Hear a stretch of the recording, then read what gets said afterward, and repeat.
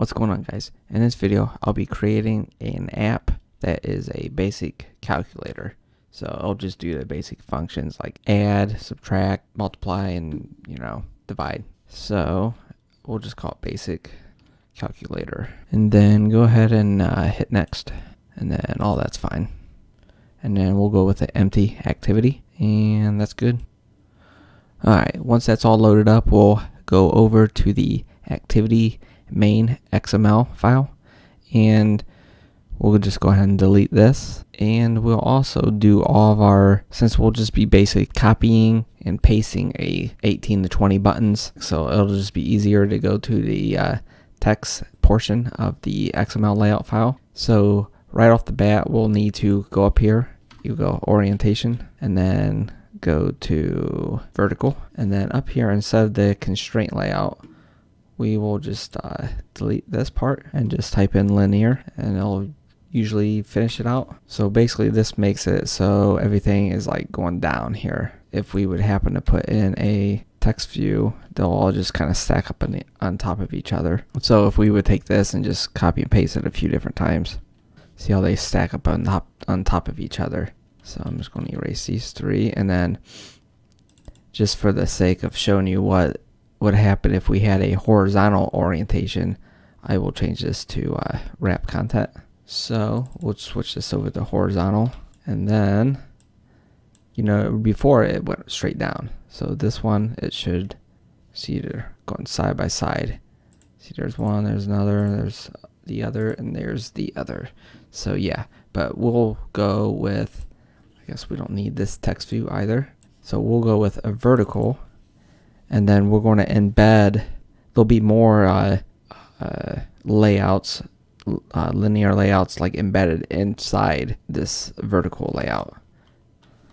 So basically we have just the one main layout which will take up basically the whole screen and then we'll have a bunch of little ones that will go uh, horizontal across the screen. Alright so the first one will go with a uh, linear layout and then again, I'll probably just be copying and pasting a lot of this. Not this first one though, because uh, we will uh, just, this will be the only item in the layout. The other ones will have uh, four, I think, in it. So we'll go match parent for the width, and then we'll go for the height, we'll go wrap content. For the orientation, we will go horizontal, and then we'll also go with a margin. This will add space around the edges all around. If you just type in margin, if you choose this one, it'll just do the margin all around. So if we go margin, layout margin, and we type in, we'll say 20 dp, it does it all around the uh, perimeter of the linear layout. Now if you would go margin bottom, it would just do the bottom. And now inside this layout, we will add a text view. Now this will be uh, holding our answer. Here we'll go uh, match parent for the width. And then for the height, we'll do it a little bit different. We'll go 50 dp. And then up here, we will go, we'll give it an ID. And then just type in, uh, make sure you hit the at plus ID. And then we'll just name this uh, answer. And then I always like to go underscore. And then if it's a text view, I go TV. If it's an edit text, I will go uh, like ET. That's just my own personal preference. I don't know if I found that it's easier to decipher things in the code if you see if you right off the bat you see a TV and a ET or whatever you know right off the bat what's what. So so we'll give this uh, the text view a actual background color. So we'll go background. So if we go hashtag, if you go like this will turn it black. So if you go a thousand, it kind of makes it uh, kind of great. I think this makes it an alpha. So if you had like a 1, I think it just makes it like a 10%. Like you can kind of almost see through it. Let's see if we hit like a 2. It makes it a little bit darker, yeah. And then 3, a little bit darker. So yeah, if you go all the way up to 10, or if you go all the way to 9, it's 90%. So we'll just go make it kind of like a shaded gray. So, and then we'll make a text size. And then we'll just say 24 SP so text, you want to go SP. And then we'll go make the gravity of the text view.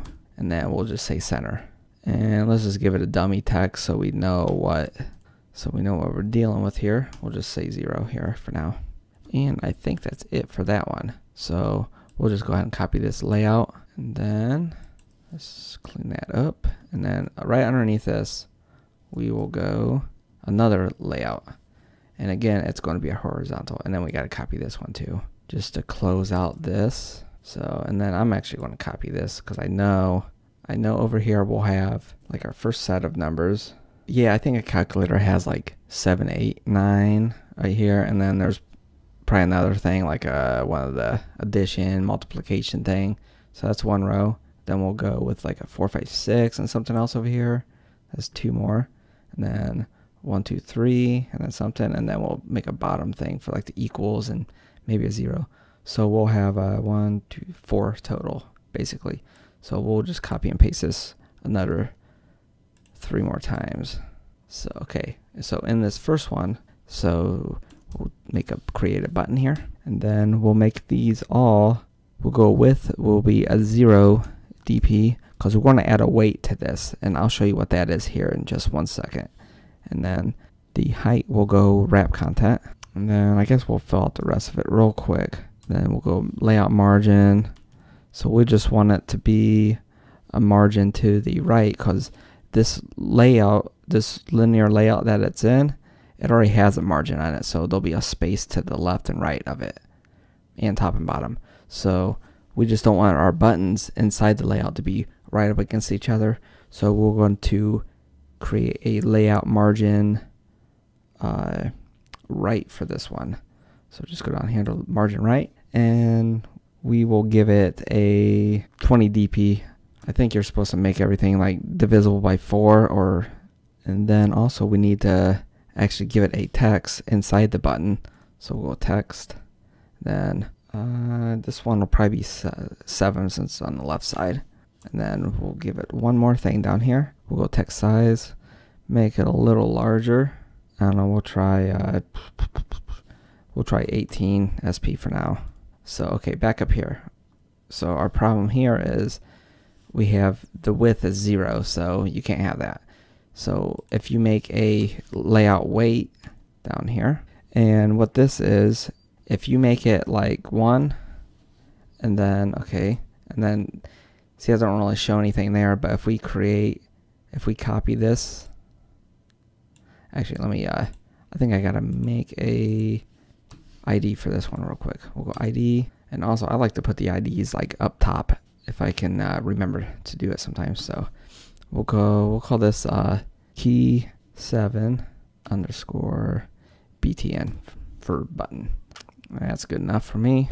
Uh, so we'll just copy this and then underneath it we'll go like that. So if they each have, and then this one will obviously be 8 and then we'll give it a text size 8. So okay, the lay the way the layout weight works is okay, say this one up here is 1 and then if we make this one 2 it'll basically make it fill up more. So the way if they're equal, it'll take up e an equal share of the line. And if one is like uh, like two, it takes up double the size of that one well, and it basically pushes this one over so it can fit in there. So we'll make it one, and then we'll have to create one more button here. And this one will be nine. Actually, we'll probably have to create another one too. And then we'll text nine and then we'll go and then we'll go with uh not sure why there's uh let me see if I can't fix this uh let me do this real quick though okay so this one will be key uh multiply mult button for multiplication and then we'll just use this little uh, shift 8 little star sign up here I noticed that this one is kind of I don't know it's not really looking good I need to move all these over. So I have to get rid of some of the margin up here. So let's go with a uh, 10. See if that does anything. Mm, ah, maybe we'll just come back to that. I'm not sure why it's looking like that. Okay, on this last one, we don't want a margin right because it's already going to same for the same reason we need a margin left on the 7. So for the mar for this one, we'll just uh, take off the margin right. That little space right there was bugging me, so I had to take a second to figure that out. So basically we will just copy all these buttons and then copy and then paste them inside here. And we'll do the same here, and then probably one more row. Did I miss something up here? Oh, I forgot to. You? Here, we'll make things easier. Paste it, and then just cut this out. Actually, I guess it don't matter. Okay, so we need to move down to this view. Yeah, if you click on these, it'll take you right there. So this one will be a, we'll go four, and four, and then five, and then five, and then six, and then six, and then we'll just say div for divide. And down here is the next row, so be one, two, three. So we'll go one, one, two, two, and then three, and then three. And then this one will be, actually I gotta go up there and change that divide sign. This one will be uh, subtract, so we'll go sub. And then we'll change this to, and then just a dash. And then we'll go up here and make this a uh, forward slash. And then one more row. And then I still got something going on up here. I'll, I'll come back to it. Uh, see here. So this one will be, uh, this will be the clear button. So we'll go uh, clear, and then CE for clear. I think that's what most calculators use. And then this one will be zero, and then zero, and then this one is equals. I don't think you can make that, so we'll just say equals. And and then add. We need an add button up there, I think. Add. And then we'll just hit a plus sign. Okay, now there's something going on with this row. Let me go to this. Uh, you know what? Because I have the 20, I got the 20 DP for all. And I'll just put 20 on this one too. Actually, I don't like it. I'm going to hit 10 on all the layouts. Just up here in the lin linear layouts, we'll just go 10 DP for all of them. And top one's fine, we'll just, and then what else? Okay, I think we got one more. And then I think we're done with this. Let me look over it real quick. But yeah, I think that looks like a basic calculator. I don't know. You can, after this, you can mess with it and make it how you want it, just as long as you got all these buttons here. And uh, But yeah, so we will go over to the main activity. So I think I'm going to end this video right here and we will continue off with the code in part two of this tutorial.